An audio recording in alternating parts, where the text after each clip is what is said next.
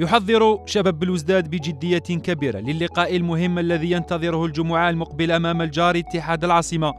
لقاء نقاطه الثلاث تكتسي أهمية كبيرة لأبناء العقيبة لتفادي الدخول في دوامة حسابات السقوط وهو الذي يتواجد في المرتبة الحادي عشر برصيد 24 نقطة. ويعول المدرب المغربي رشيد طوسي على الروح الجماعية للاعبين من أجل تحقيق الهدف المبتغى في هذه المباراة. أنا نحضر كما les matchs كامل كما في début championnat كما كاع les matchs.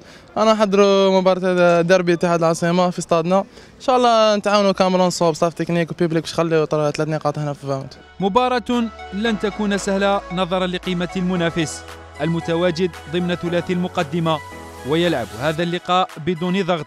الأمر الذي يجعل تشكيلة الشباب أمام أصعب اختبار. صعبة المنتهية صعبة. نعرفوا إحنا فريق خصم فريق قوي بكل مكوناته فريق اتحاد العاصمة فريق كذلك له له تاريخ كبير وله مقومات الفريق البطل كذلك ما ماشي سهل. الحمد لله إحنا التشكيلة بالنسبة لنا بالنسبة لنا جاهزة لأنه آه، الكل متحفز وأول شيء بالنسبة لي هم اللاعبين. اللاعبين هم اللي غيكونوا يعني لي فريز اكتور في رقعة الملعب.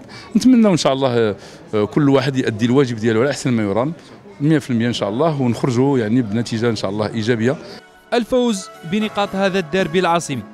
يعد امرا حتميا للاعبي الشباب ليكون أجمل هدية لجماهيرهم التي تأبى أن يواصل الفريق مغامرته في البطولة والمنافسة الإفريقية بمفرده.